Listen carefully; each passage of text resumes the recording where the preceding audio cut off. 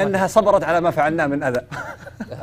يا جماعة بس بقول شيء. طب نقرأ نقرأ بس. آخر شيء بقوله نقرأ عشان يا جماعة بس بقول لكم النعم اللي إحنا أصبحنا فيها. الحمد لله. يقول صلى الله عليه وسلم من أصبح منكم آمنا في سربه معاف معافا في جسده.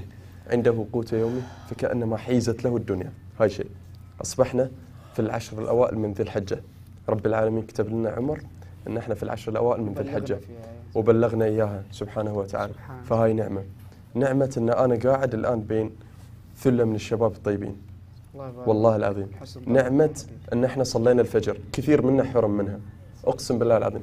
يستطيع أن يشيل الحديد بس ما يستطيع أن يشيل الحاف. صح ولا أنا غلطان؟ صح. كثير. تحصله اللي هو العصر شار حيلة في ما أدري وين والفجر لما يرفع للحاف يكبرها عند الله. أو قبل الصلاة بدقيقة تحصل حط رأسه ورقد. فعسى ربي يتقبل منا خير. ويديم علينا النعم. إحنا ووالدينا والمتابعين وجميع المسلمين يا رب العالمين. جزاك الله خير.